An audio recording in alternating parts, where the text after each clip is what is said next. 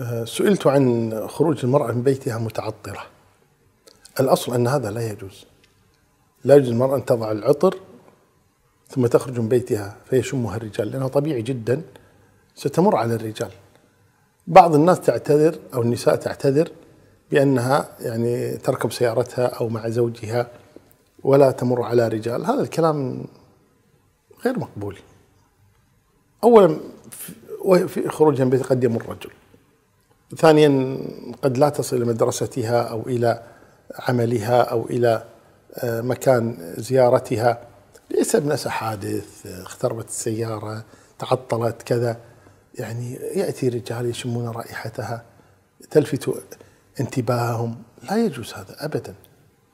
فإذا خرج المسجد لا يجوز لها. ولذلك النبي صلى الله عليه وسلم قال وليخرجن تفلات تبي تتعطر إذا كانت مجلس النساء تتعطر تضع العطر أو في بيتها.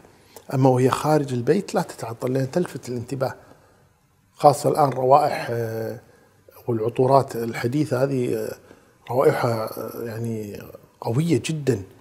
فتلفت الانتباه. فعلى النساء أن يتقين الله تبارك وتعالى في ذلك وأن لا يرى ما الفائدة من وضع العطر؟